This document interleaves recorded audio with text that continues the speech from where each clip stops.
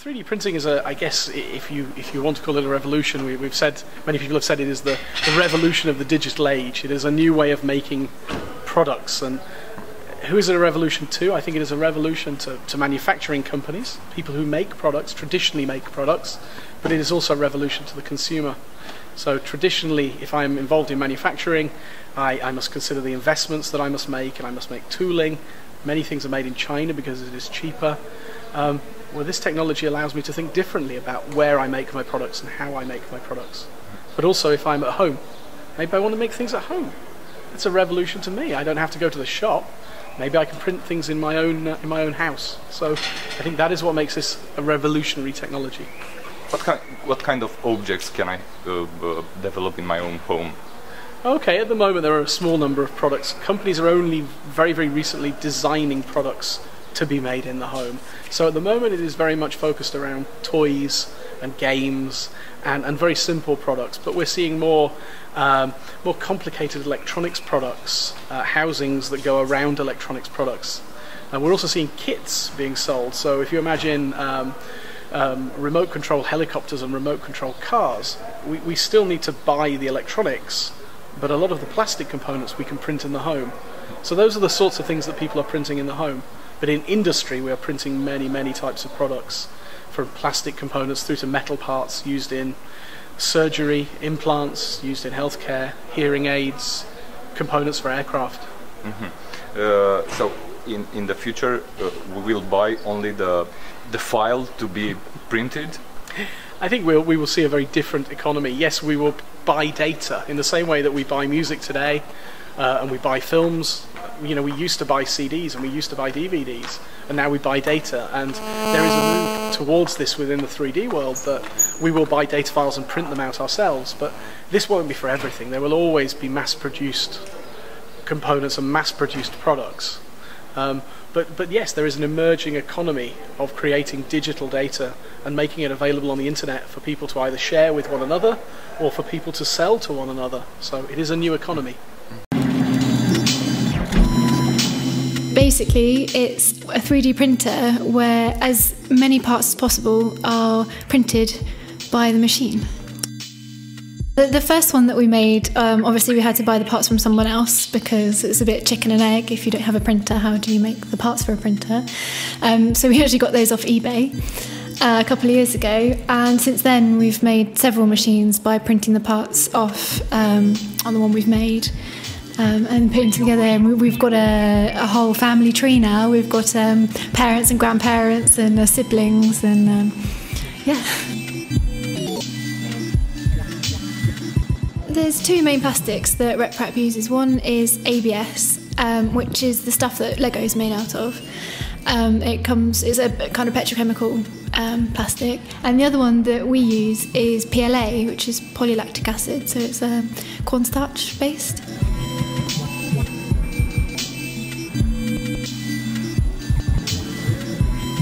It's, it's really amazing and the, the enthusiasm is kind of infectious. You, you, you, print something and immediately you're thinking how can i improve it?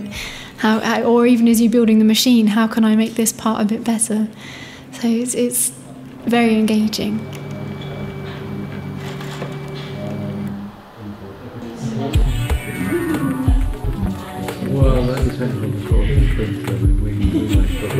it's like um, I would have to remember before we had um, really colour photocopying, or um, uh, certainly you didn't have a printer in your own home, and uh, it, it, transformed everybody's workflow because you could just print stuff out straight away. I think this is going to do exactly the same thing.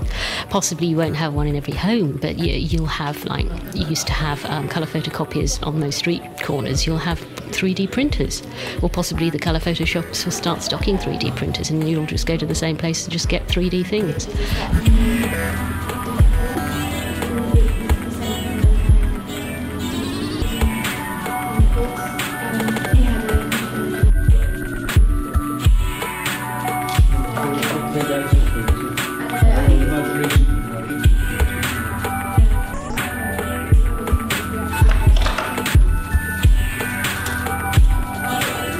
So at one level, I think the uh, the electronics world is going to see a big shift, and the ability to make custom devices easily, cost effectively, uh, satisfies a need for individuality that the the previous century of you can have it any colour as long as it's black, to paraphrase Hen, um, Henry, T, uh, Henry Ford and his Model T. Um, I, I, I think that demand is there and it can be realised by people making um, their own devices, their own objects, etc.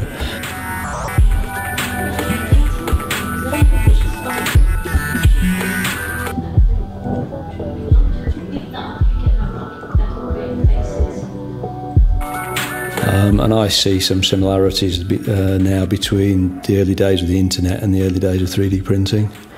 Um, you know, the sort of revolutionary impacts that could have on uh, the way people regard manufacturing. And I think it's, you know, 20 years' time we could be looking back and thinking, wow, it's a bit different now to the way it was 20 years ago.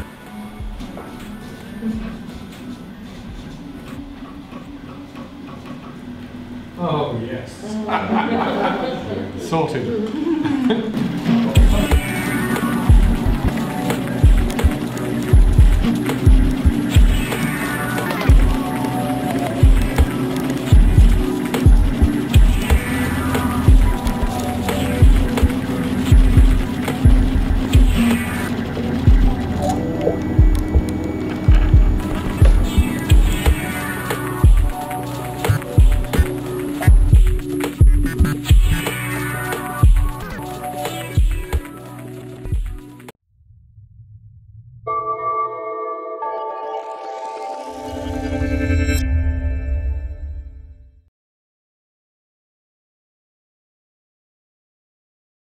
few months ago, I just bought a 3D printer for just 1,000 US dollars.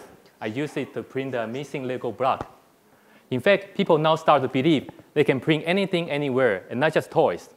In the last five years, 3D printing has got enormous media attention.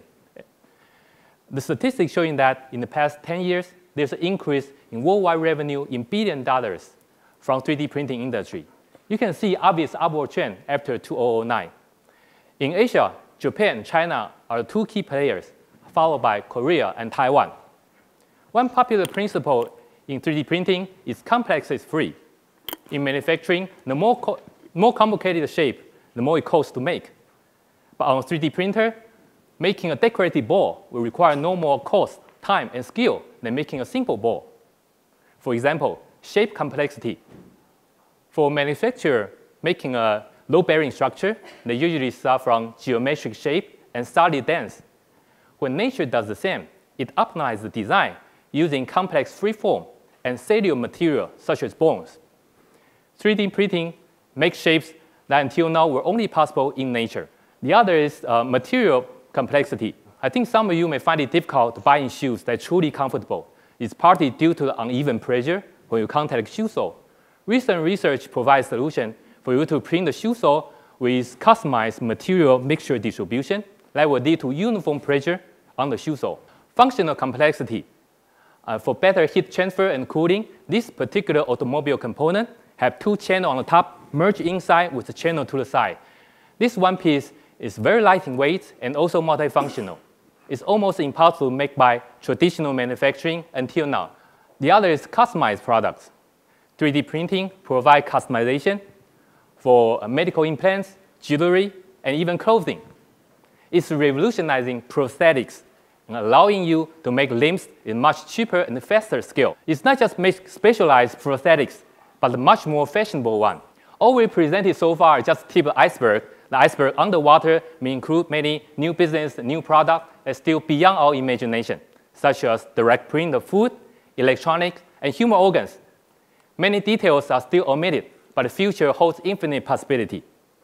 This 3D printing iceberg may impact on all aspects of product lifecycle, from design manufacturing all the way to logistics. It will impact on existing industry and may generate totally new business. they definitely cause some concern on all these areas. Let's start from manufacturing. Will 3D printing end made in China era? It's a specific manufacturing model, rely on mass production cheap labor, and global distribution. One possible scenario may be like this.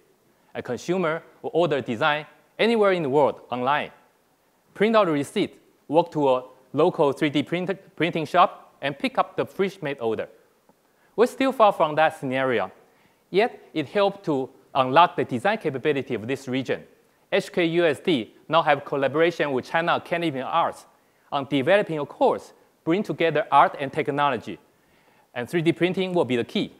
One day, made in China may be replaced by design in China. Logistics is one pillar industry in Hong Kong. If 3D printing ends made in China, maybe also means demise of logistics. It will not make economic sense to ship the raw material all the way to China through Hong Kong, assemble into final product, and ship back to US. On the contrary, logistics industry responds quite positively to 3D printing. Amazon eBay has uh, taken initiative to integrate 3D printing into their business. Just this July, Amazon launched a specific website to sell customized 3D printed products.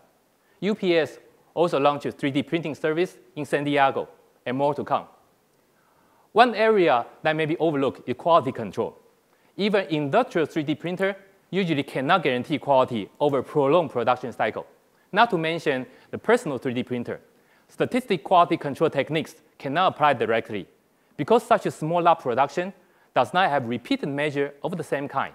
A few months ago, I bought a 3D printer. I imagined I would print anything. I print the, the Lego block, but I tell you, it didn't fit because the dimensional quality still not comparable. HKUST and USC now have joint research on 3D printing quality control, and we believe quality will be the enabler of distributed manufacturing era. Thank you.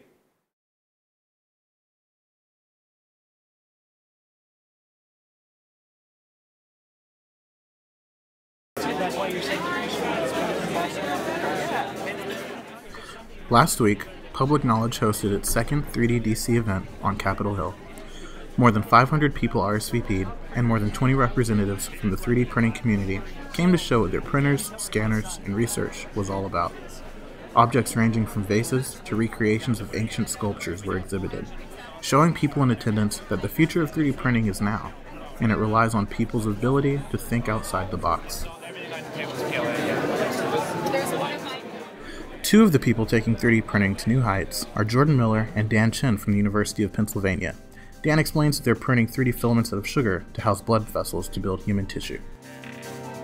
We'll take our cells and we'll form them around this, this structure which we printed. And so then we'll dissolve away the sugar structure and we're left with this hollow um, tube uh, network. So then we can take this tube network and fuse blood through it. And so in this way we can keep large-scale tissues alive. So all the cells within that tissue have the necessary nutrients and oxygen to survive through the blood flow that comes from this printed sugar network. Regardless of the event's title, not every exhibitor had a 3D printer. Some looked at 3D printing and sought ways to make it more practical. I'm Tyler McNaney from Vermont. Um, this is our product called Filabot. And Filabot makes filament for 3D printers. Um, you can put pellets in, you can put shopping bags, soda bottles, milk jugs, and create new filament. It also creates a closed loop recycling system where if you have a bad print, you can throw it back in the system, make new filament, and make a corrected part. As the event wore on, it was clear that 3D printing was not only exciting to people who had never seen it, but was sparking conversations with people that were familiar with the practicality of 3D printing already. Whether you were printing skin tissue or Legos, there was something in 3D printing for everyone, and that's why 3DDC was such a great success. He just left it in lab. So he's helping my son build one of these.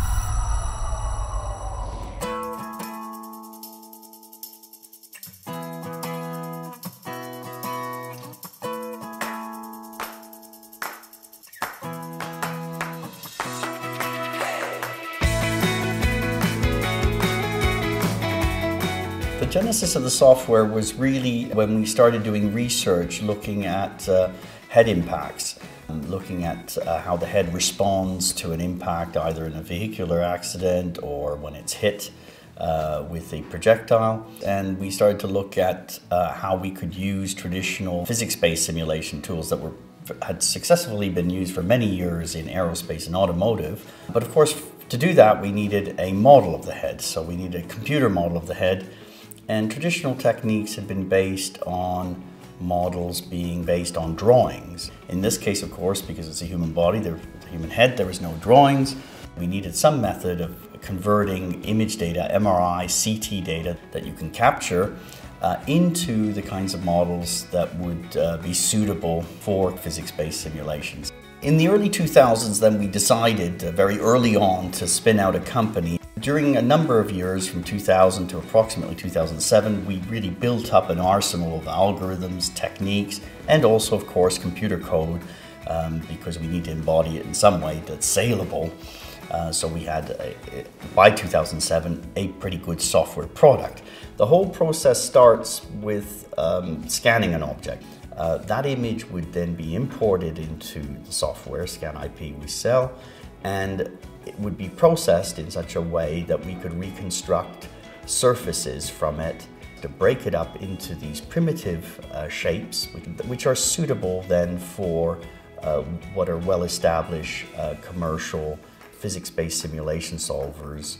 The software provides assistance at an early stage in the design process, in the research and design process, by enabling an understanding of um, both the mechanisms at work and how a product will perform or how it does perform in order to be able to change then obviously how it's designed to perform better.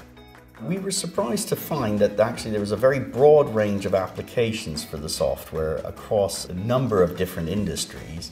Initially, the medical market was a large market for us, so things like implants, hip implants, but then it led on to products that interacted with the human body, so consumer products, shaving products, and more recently it's gone over to even more industrial applications, so the reverse engineering of engines, components, uh, so the primary way in which it helps our customers or how customers can benefit is by simplifying and reducing the cost of trialing uh, hundreds and hundreds of different designs physically uh, by replacing this physical testing with an early virtual testing. We have 20 employees here, uh, many from a physics background. So the, the company is centered in Exeter and the development is done here, so the and the support. In addition, we have some uh, employees abroad, uh, with an office being in the US. We also are looking to expand and have an office in Germany as well. We've grown uh, approximately 600%, I think, since 2008. It's a sort of 40 or 50% per annum growth. And the growth has been also across totally new sectors. The Institute of Physics Award is really a recognition of, of the hard work we've done, and it's based on research we did early on uh, and managed to transfer from a university setting into a uh, company setting, into a viable and, and, and, and thriving commercial entity. So we're very proud to have received the Institute of Physics Award.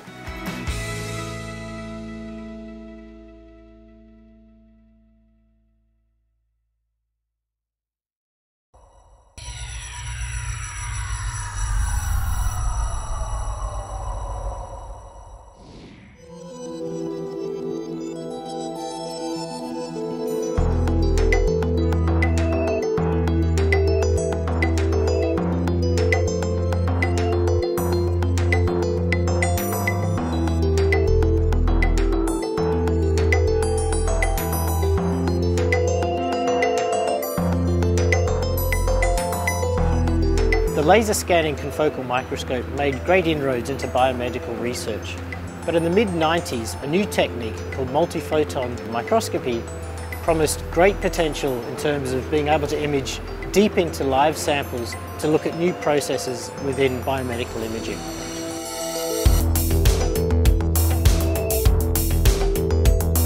The difficulty for the people using this technique was that it required a very complicated laser technology called a femtosecond laser, which up until then remained the preserve of the physics labs within universities and large research institutions. Femtosecond lasers require very complicated physics in terms of dispersion control, power control, and pulse width control. It required a physicist generally to be able to maintain the system and to be able to use the equipment required to diagnose and keep the system running. Here at Coherent Scotland we designed the Chameleon laser to specifically address this problem.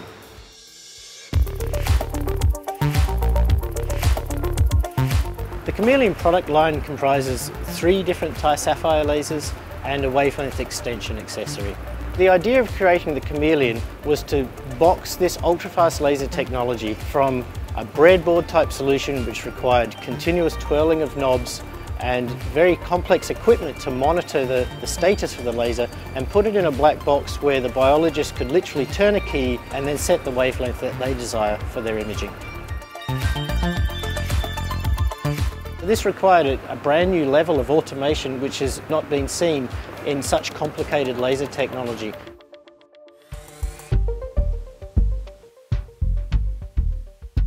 There are a wide variety of biological problems which practitioners are using multiphoton microscopy and, and in fact using chameleon lasers. Imaging in the neurosciences where we can actually look at brain cell structure, we can look at uh, neurons firing, we can observe learning processes. Being able to image deeper within specimens has enabled new techniques, particularly in applications like cancer research, where a physician can look deeper into tissue and observe drug uptakes. Also for tropical medicine, where we may be able to observe diseases like malaria and how they progress through the bloodstream.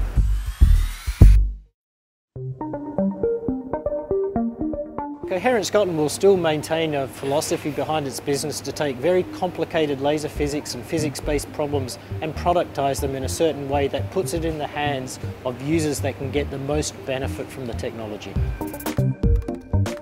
Chameleons now can be found in everywhere from hospitals to universities to dedicated imaging core facilities within research centres all over the world, from US to the Far East, Australia, and we've even sent chameleons as far as Antarctica.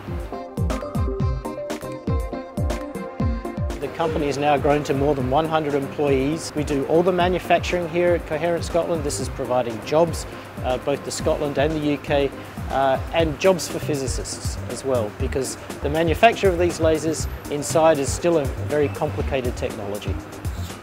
The Chameleon and other industrial products have driven growth into the tens of millions of pounds and this has further enabled larger and wider markets like the multiphoton microscopy.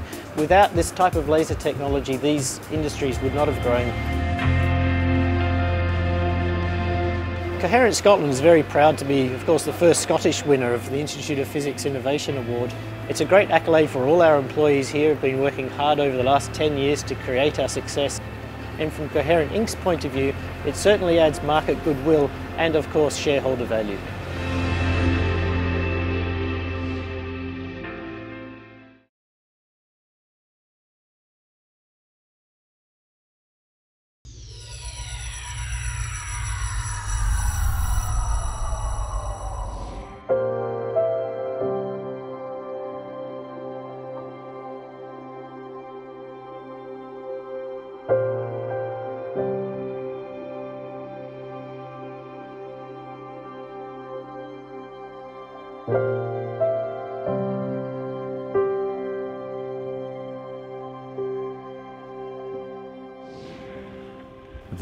Accurate measurement of wind speeds is absolutely crucial for the wind industry. What ZephIR does is it, it's a, a wind LiDAR uh, that sits on the ground and measures the wind speed by emitting a laser beam out of the atmosphere and measuring tiny fraction of the light that gets backscattered from dust particles in the air.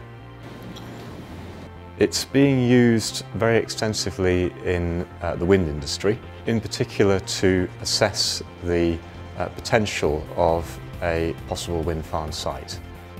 It's being used to measure how windy the site is and see whether we'll bring sufficient return on the investment and deliver the energy that's, that is necessary. The laser beam gets scattered back by random particles in the atmosphere and generates a, a speckle pattern back at the receiver in, in much the way that you, you can see when you illuminate a, white board with a laser pointer. We can measure the Doppler shift which is a measure of the, uh, the speed of those particles, and use that to infer the wind speed at a whole range of heights. We've managed to develop ZephIR into a global brand. We sell more than 75% of our products overseas, from Africa to North and South America and Asia. For example, one area of potential growth is the mounting of LiDARs on the wind turbines themselves. By mounting a LiDAR on a turbine, you can get, a, if you like, a prior information of the wind uh, before it strikes the turbine. For example, if there's a, a large gust that could potentially damage the turbine, uh, then you could warn the turbine and it could feather its blades or pitch its blades. The offshore market is potentially very interesting because of the, the likely increase in this, in, the, in this activity in UK waters, for example. The wind resource is very good offshore, um, but it does bring problems.